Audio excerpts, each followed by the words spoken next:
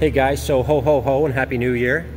2022 should be interesting. Um, yeah, no doubt.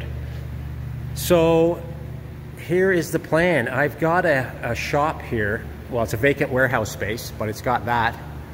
And it's blowing some nice warm heat. Um, it's been really cold out in my part of the woods. It's been minus 30. Um, today's minus 25 and it's just no fun to work on a vehicle in those conditions. So I've got this shop here for about six weeks now uh, in town. I got it to the end of January. So I'm gonna do some mods to this thing. And today I'm gonna do a couple things. I'm gonna show you how to install lights on the bumper of this GX470, which isn't a great idea, but um, I got plans for that bumper, so it's temporary. I'm also gonna show you how you switch uh, the lights. I'm putting pencil beam lights on this. I'm gonna show you how to switch them on with the high beamed um, switch. And I'll show you why I'm doing that and how you do it with this. Uh, I think this is the same um, for Subarus. I think it's the same for a lot of vehicles. So you can probably use this to help you do that. And I'll show you why I'm doing it. So here's what I got going on. I've got these Auxbeam seven inch uh, pencil beam lights and I'm going to install them on the GX here and uh, we'll see how that goes. And there's my tools for today. I got to drill a couple holes but uh, not a big deal and let's get after it. So here's the bumper on the GX 470 and the problem with this bumper is uh, there's lots of things wrong with this bumper as far as putting lights on it. This is just plastic. It's pretty rigid though so I'm thinking it's going to work. Again this is temporary guys. I got a new bumper on the way. Um, the main beam for the bumper on the GX is down here. You can't see it until unless I pull the bumper off. I'm not going to do that. Um, the main beam, uh, you know, the thing you crash into things with, is there. So up here on the GX, oops, right here, there's nothing there but plastic. Again, it's pretty rigid. Um, you could probably make a bracket um, and mess around with it and, and, do a better job than what I'm going to do here today. Um, but you know what? It's for me, it's not worth it. Hopefully, I'll have my new bumper in a month, uh, maybe two months at the most, and you know, so this is going to be ditched. I'm going to keep the lights, but the bumper is going to be gone. This is the harness uh, Auxbeam gives you. It actually comes with the kit. And it's kind of weird, and I'll show you why. The plugs and everything else are great. Uh, they're, they're weather sealed, everything's awesome. Uh, it comes with uh, the relay, which is awesome. Again, everything's wired up nicely, no problem. This is your off on button. Uh, this you'd have to feed into your car through the firewall. And that's a bit of a thing to put through there, man. It's like the size of my thumb. Here's another look at the setup. There's your relay. There's your connection to the battery. There's a fuse block. And then you've got two wires going out that hook up to your lights and they give you tons of cable, which is good. And then this guy, which turns it off and on, but has power to it all the time, or to the switch anyway, that goes into the car. Um, again, it's kind of lumpy. There's a connector.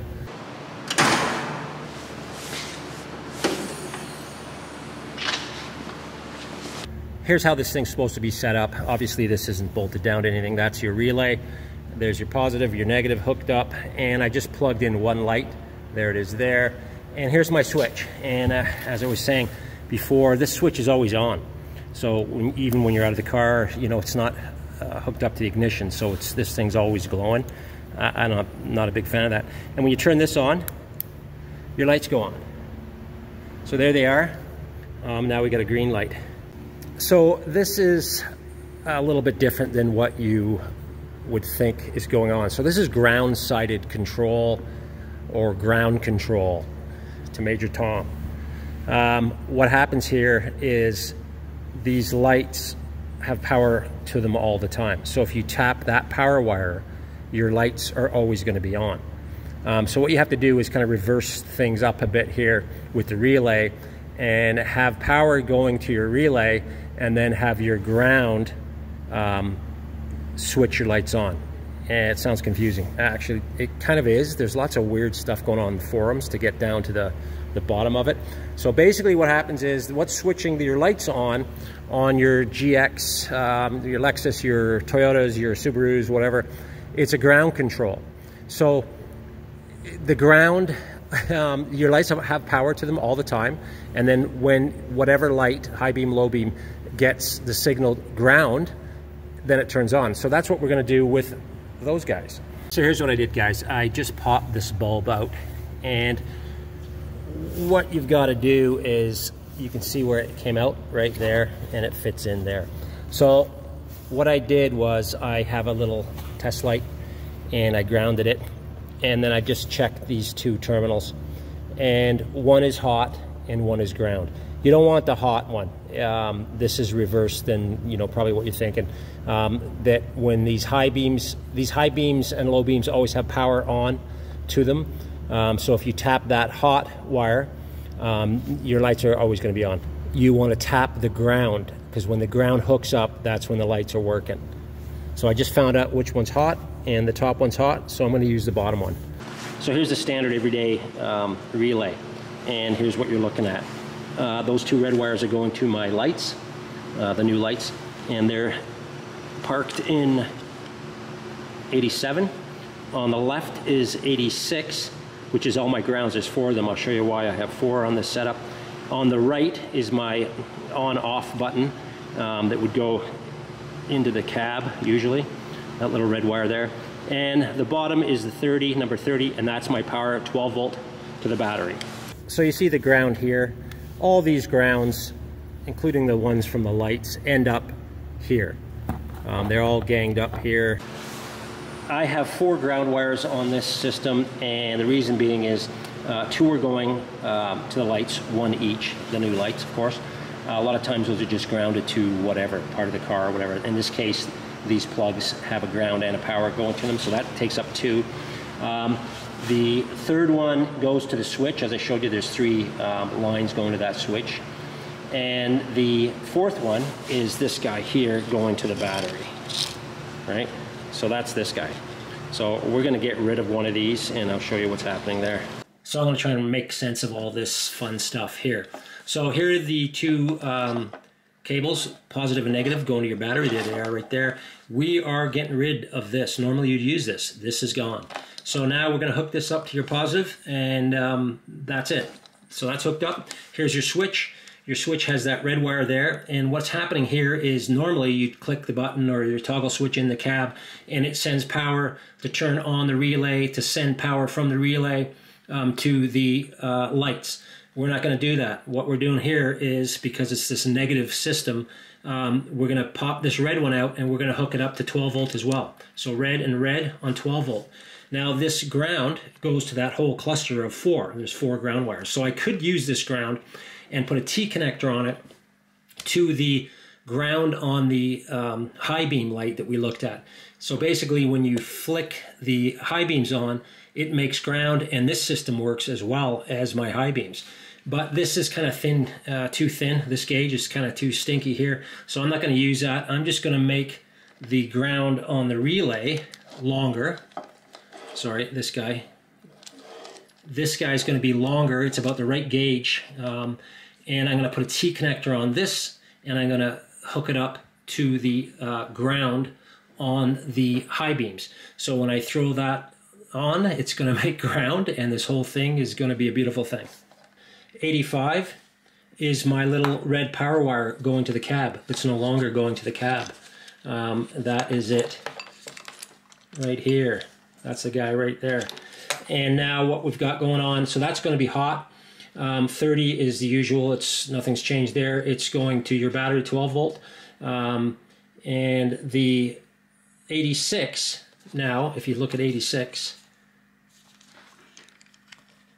is your ground. Can, so that's your ground. So, um, and again, they're all getting together. So when that ground ground's activated by your high beam switch on your headlights, it's going to throw this stuff into action. So here's what's going on. Um, hopefully you get this. Um, maybe I'm not explaining it too well, but I'll try my best. So basically now the switch um, has full-time power and it's they're both hooked up right they're both going in there power's on both of them and there is your ground so when the ground hits this guy that's the contact that turns the light on. I'll pull the ground off. Obviously, that's how it works. So that's how your headlights work on the GX, uh, Lexus, Toyota, Subaru, and all kinds of other vehicles. So now we're just gonna go in here and we're gonna tap that. So these lights are pretty heavy. I saw a guy on Instagram mounted some spots. Uh, maybe there were floods, but they were a lot smaller. This is not the way I would do it. I would put some kind of structural something underneath. Like I said, there's nothing under here for about good 10 inches. Um, so this is just plastic. It is pretty rigid, but I think these guys are going to be uh, too heavy for it and it's going to be vibrating around. Again, guys, I just need these for my commute. My commute now is about 1,200 kilometers um, and I need these going through the mountains. So I'm going to put these on here temporarily. Um, basically, the uh, other problem, the other problem with these um, is these the slope of this bumper. Um, it's not going to let me level these lights out. They're going to have to come up more like this um, and there's just not enough adjustment in these to compensate for this bumper slope. So I got a couple shims I've made up I'm gonna stick in there. So with each new hole, this thing becomes softer. So again, guys, um, I might put a little gusset under here, um, under the bumper, just to try and help support it. But this is not ideal in my opinion, but will work for a month or so. This is interesting to some of you. This uh, Somebody uh, mentioned in the comments that this Lexus um, brush guard, this factory brush guard, if you can call it that, is kind of collectible. Back to the project. Um, so this guy, each bracket comes with three nuts and bolts. And I don't know if I'm going to put it in there because, you know, the more holes I put in this bumper, the softer it's going to be and the more it's going to vibrate and, and so on. And I still have to put a three quarter inch hole through here to pass the power wires uh, for each light through. So we'll see how that goes. We'll see how tight I can get these. As long as they stay square, um, we should be good. So I got both brackets on. I had put that one on backwards. I don't know if it matters or not, but anyway, they're both on. And now I'm just gonna square them up. Basically, depending on your brackets, to line these guys up, these have to be the right distance this way on the bumper. You know, if one's skewed in there and the other one's out here a little bit, this, uh, what I'm gonna show you isn't gonna work.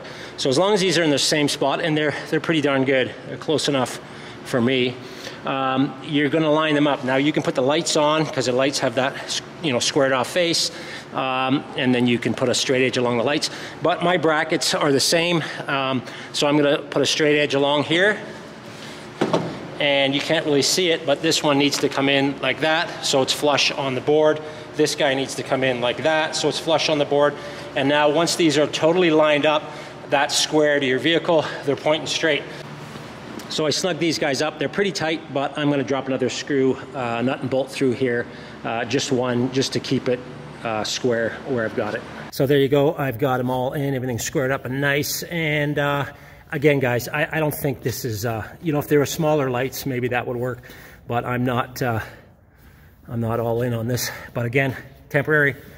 And right now they're, they're pretty solid. I did end up putting a little gusset in the back there. I don't know if it helps or not. Um, this is kind of where you need the structure to stop it from doing this, but this is what it is. All right, so this is what you do next. Um, once you've got these squared on the front, we're, we're gonna level these. So again, this depends on your load too. If you're gonna have a couple hundred pounds in the back normally, um, then level it with that. Right now, this thing's empty, but I will have a couple hundred pounds in it. So I might angle these a little bit down, and when the load's in the back, it'll bring it back up. But that's pretty much the concept right there. So there they are, they're on. And my next deal is I've got to get this guy down through that bumper, which is obviously easy to do here because it's plastic, but it's a big uh, connection here. It's three quarters of an inch. So I'll drill that out and I got a couple rubber grommets that I'll put in just to clean it up. Got Mr. Grommet in there on both sides and uh, yeah, see what this thing looks like. So they look pretty good and that's how you set up a ground uh, switched or ground sided uh, light setup um, if you want to tap into an existing headlight. Um, you got to use that negative. And uh, you know what? They look pretty good. This is the 7-inch Auxbeam, and I did a unboxing a few months ago of these guys, and I'll leave a link to that in the description below. They look pretty good. I don't know how much they're going to vibrate around. It could be nasty. I don't know. Again, this is temporary. But for where, what I'm doing, I'm, I'm heading back and forth into BC quite often, and the commute's uh, pretty wild going through the Rockies and you want to light up um, as much as possible at night just because there's moose, there's elk, there's all kinds of stuff running around. So these will be great, and it depends on your part of the world if this is legal or not. Um, you might not um, want to hook them up to your high beams. I like the idea because there's not another switch there. Possibly to get around this is if you have kind of crappy high beams you just take unplug the bulb from your car and just run those as high beam or run all four. It's up to you if you're off road or whatever else. Uh, but these will definitely work for me. And again, this setup is temporary for me. The lights aren't, I'm going to use those for sure. But I've got a new bumper coming, hopefully in the next month or two. And I want to thank um, Mr. Taylor. You know who you are. He left something, uh, a comment in the comments about a great bumper, great looking bumper. And I agree, that's uh, one of the best GX 470 bumpers out there. And he is a local countryman, or he's pretty close to me anyway. And they're called Red Dog Fabrication. So I've got one of those on order, and I can't wait to install that bad boy. It's going to look awesome. It takes the whole bumper here, right to here. Um, and it's just a really nice setup. It's going to, you know, obviously have a winch on it and the whole thing. And those guys will be going to those uh, running boards. And it's starting to look good. Get some tires on there in the summer, and away we go. Anyway, thanks for watching, and Happy New Year. And let's see what 2022 brings. Yeah, that should do it. Thank you.